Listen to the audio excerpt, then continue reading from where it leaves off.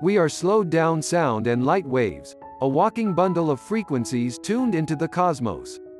We are souls dressed up in sacred biochemical garments and our bodies are the instruments through which our souls play their music. Weak people revenge. Strong people forgive. Intelligent people ignore. The difference between stupidity and genius is that genius has its limits. The only thing more dangerous than ignorance is arrogance.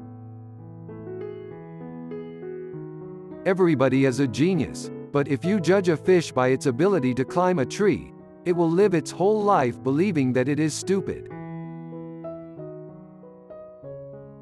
The world will not be destroyed by those who do evil, but by those who watch them without doing anything. Don't listen to the person who has the answers. Listen to the person who has the questions. We cannot solve our problems with the same thinking we used when we created them.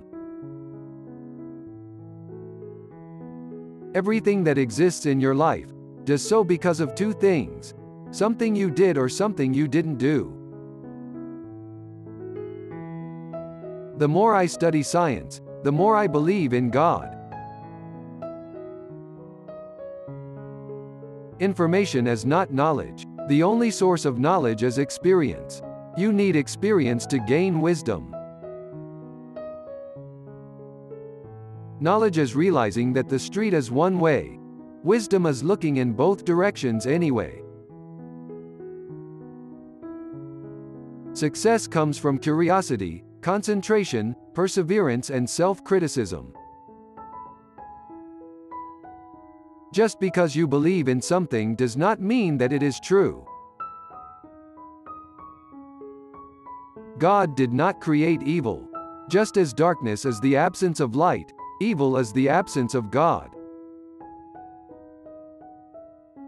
A person who never made a mistake never tried anything new. Blind belief in authority is the greatest enemy of truth. Life is like riding a bicycle.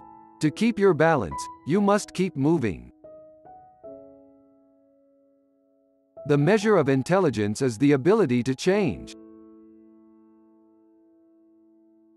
Imagination is more important than knowledge. Imagination is the language of the soul. Pay attention to your imagination and you will discover all you need to be fulfilled. Experience is knowledge. All the rest is information. Learning is the beginning of wealth. Searching and learning is where the miracle process all begins. The great breakthrough in your life comes when you realize it that you can learn anything you need to learn to accomplish any goal that you set for yourself. This means there are no limits on what you can be, have or do. We cannot get to where we dream of being tomorrow unless we change our thinking today. If you want to live a happy life, tie it to a goal, not to people or objects. If you want different results, do not do the same things. The height of stupidity is most clearly demonstrated by the individual who ridicules something he knows nothing about. Insanity. Doing the same thing over and over again and expecting different results. The most valuable thing a teacher can impart to children is not knowledge and understanding per se but a longing for knowledge and understanding, and an appreciation for intellectual values, whether they be artistic, scientific, or moral. It is the supreme art of the teacher to awaken joy in creative expression and knowledge. Most teachers waste their time by asking questions that are intended to discover what a pupil does not know, whereas the true art of questioning is to discover what the pupil does know or is capable of knowing. I once thought that if I could ask God one question, I would ask how the universe began, because once I knew that, all the rest is simply equations. But as I got older I became less concerned with how the universe began. Rather, I would want to know why he started the universe. For once I knew that answer, then I would know the purpose of my own life. Genius is making complex ideas simple, not making simple ideas complex. Don't wait for miracles. Your whole life is a miracle. Do you believe in miracles? Well, you should. In fact, life itself is a big miracle. There are so many things that are beyond our understanding. There are two ways to live. You can live as if nothing is a miracle. You can live as if everything is a miracle. Learn from yesterday. Live for today. Hope for tomorrow. The important thing is not to stop questioning. Be a loner. That gives you time to wonder, to search for the truth. Have holy curiosity. Make your life worth living. If you can't explain it simply, you don't understand it well enough.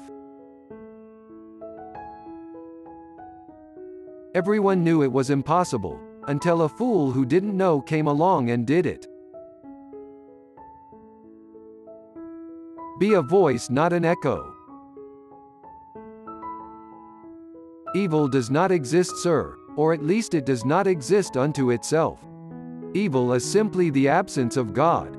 It is just like darkness and cold, a word that man has created to describe the absence of God. God did not create evil, Evil is not like faith, or love that exists just as does light and heat. Evil is the result of what happens when man does not have God's love present in his heart. It's like the cold that comes when there is no heat or the darkness that comes when there is no light. Women always worry about things that men forget. Men always worry about things women remember. The world we have created is a product of our thinking. It cannot be changed without changing our thinking. If we want to change the world we have to change our thinking. No problem can be solved from the same consciousness that created it. We must learn to see the world anew. Three great forces rule the world. Stupidity, fear and greed. Logic can take you from point A to point B. Imagination can take you wherever you want. Live life to the fullest. You have to color outside the lines once in a while if you want to make your life a masterpiece. Laugh some every day. Keep growing. Keep dreaming. Keep following your heart. The important thing is not to stop questioning. Failure is success in progress. If one day you have to choose between the world and love, remember this. If you choose the world you'll be left without love, but if you choose love, with it you will conquer the world. Coincidence is God's way of remaining anonymous. Once you stop learning, you start dying. You can't use an old map to explore a new world. A clever person solves a problem. A wise person avoids it. A human being is a part of the whole called by us universe, a part limited in time and space. He experiences himself, his thoughts and feeling as something separated from the rest, a kind of optical delusion of his consciousness. This delusion is a kind of prison for us, restricting us to our personal desires and to affection for a few persons nearest to us. Our task must be to free ourselves from this prison by widening our circle of compassion to embrace all living creatures and the whole of nature in its beauty. Any fool can know. The point is to understand. Men marry women with the hope they will never change.